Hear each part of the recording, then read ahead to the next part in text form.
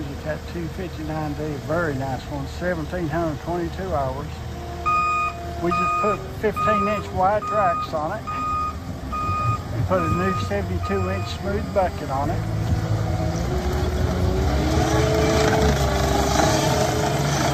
Very, very nice. We painted the roller frame, but the rest of it's all original.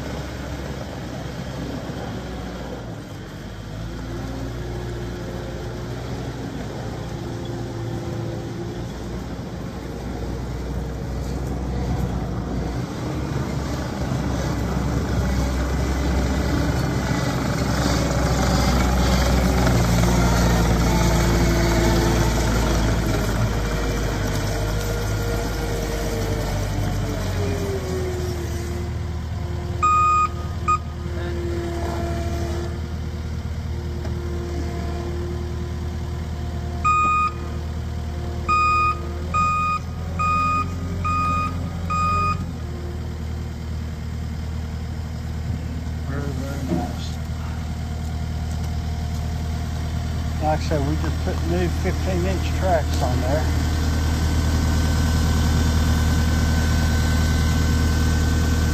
Got very good looking rollers and sprockets and all.